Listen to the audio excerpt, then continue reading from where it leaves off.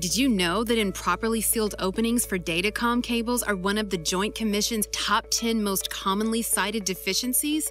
Cable moves, adds, and changes are frequently the cause for once compliant installations to become deficient.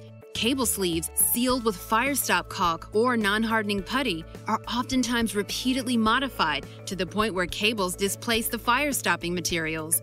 UL systems clearly specify the maximum cable fill for putty systems is roughly 35% calculated fill. For sealants, it can be as much as 50% calculated fill, but once the UL system's fill percentage is exceeded, the sleeve is considered to be non compliant. Restoring these openings to code compliance in healthcare facilities has traditionally been extremely challenging, until now, STI's EZ-Path retrofit device is designed to remediate overfilled cable sleeves by providing instant code compliance. The device is engineered for quick and easy installation. The two-piece split design wraps around the cable bundle and locks securely onto the end of the sleeve. Cables may exit or enter the device from any direction, allowing for future cable moves, adds, and changes.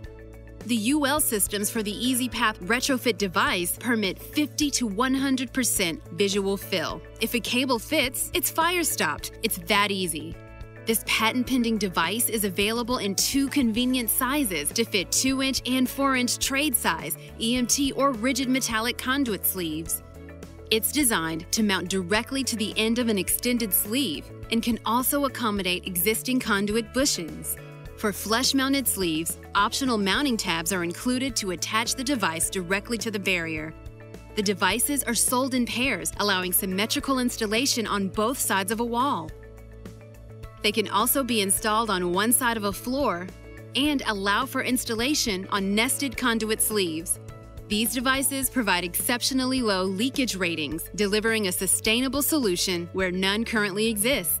The new CMS rules, enforced by authorities having jurisdiction such as the Joint Commission, requires life safety deficiencies to be corrected within 60 days. Noncompliance is yesterday's problem. The EZ-Path retrofit device transforms deficient overfilled sleeves to instant compliance today.